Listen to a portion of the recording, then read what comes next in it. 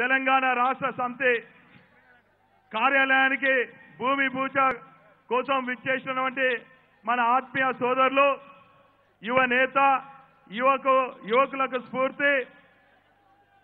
Young dynamic mass leader class leader అన్ని కలుపుకొని ఒక గుడ్ అడ్మినిస్ట్రేటర్గా మన ముందుకు వస్తున్నటువంటి ఈనాటి ముఖ్య అతిథిని గౌరవనీయులు ఆత్మీయ సోదరులు కల్వకుంట్ల తారక తారక రామారావు గారికి మనందరం కూడా చప్పట్లతోనే స్వాగతం సుస్వాగతం.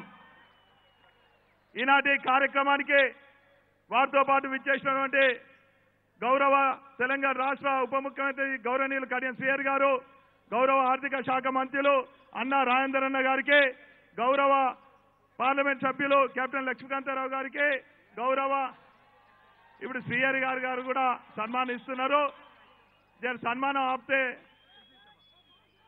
దయచేసి కళాకారుల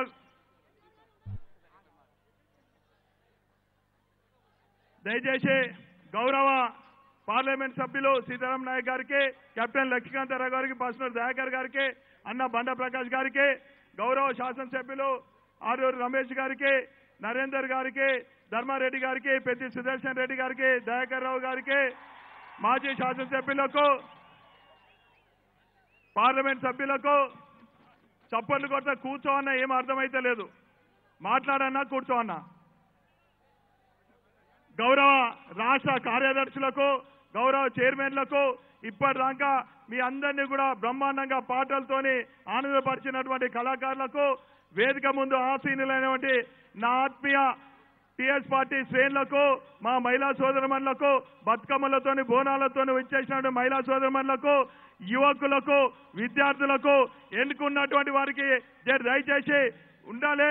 అదేవిధంగా వేదిక ముందు ఆసీనులైనటువంటి మా డివిజన్ కమిటీ సభ్యులకు బూత్ కమిటీ సభ్యులకు ఇప్పుడే ప్రెస్ క్లబ్ నుంచి విచ్చేసినటువంటి అధ్యక్ష కార్యదర్శి కార్యవర్గ సభ్యులకు అదేవిధంగా హాజరైనటువంటి ఎలక్ట్రానిక్ ప్రింట్ మీడియా ఫోటోగ్రాఫర్లకు వీడియోగ్రాఫర్లకు కవులకు కళాకారులకు బూత్ కమిటీ సభ్యులకు అందరికి కూడా పేరు పేరున హృదయపూర్వక నమస్కారాలు.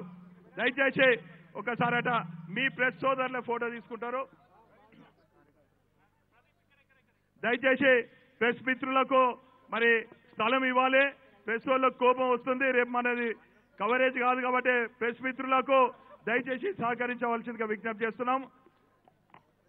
మరి ఈరోజు ఈ కార్యక్రమాన్ని ఇంత విజయవంతంగా చేసినటువంటి నా ఆత్మీయ టీఆర్ఎస్ పార్టీ శ్రేణులకు హృదయపూర్వకంగా కృతజ్ఞతలు ధన్యవాదాలు తెలియజేసుకుంటూ గోపి ఎక్కువ మరి ఈరోజు మన అన్న కేటీ రామారావు గారు ఈ స్థలానికి ఈ ప్రాంతానికి ఇక్కడికి ఈ జిల్లాకు పోరుగల్లు లాంటి ఓరుగల్లు జిల్లాకు రావటం ఇది మొదటిసారి కాదు ఇది ఆఖరిసారి కూడా కాదని కూడా ఈ సందర్భంగా తెలియజేసుకుంటున్నాను. అన్న ఒక కార్యకర్తగా వచ్చి కార్యకర్తలకు అందరికి కూడా ఎంతో స్ఫూర్తి ఇచ్చినటువంటి సందర్భాలు సభలో ఎన్నో ఉన్నాయని కూడా సందర్భంగా తెలియజేసుకుంటున్నాను. కార్యకర్త తర్వాత ఉద్యమకారునిగా వచ్చి తెలంగాణ రాష్ట్ర సాధన కోసము మాలాంటి ఉద్యమకారులకు అందరికీ కూడా ఊతమిచ్చినటువంటి పరిస్థితులు ఎన్నో ఉన్నాయని కూడా ఈ సందర్భంగా తెలియజేసుకుంటున్నాం.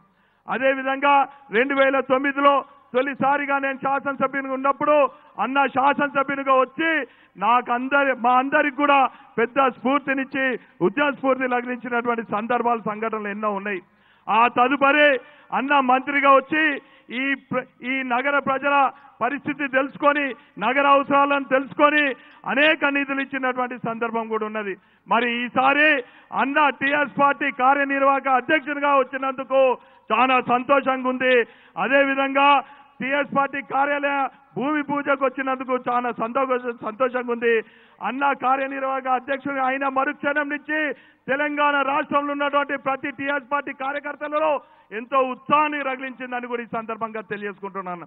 అందుకే కేవలం ఈ నలభై ఎనిమిది గంటలలో సమాచారం అందుకొని వేలాదిగా మరి టీఆర్ఎస్ పార్టీలు అందరూ కూడా తరలి రావడం జరిగింది.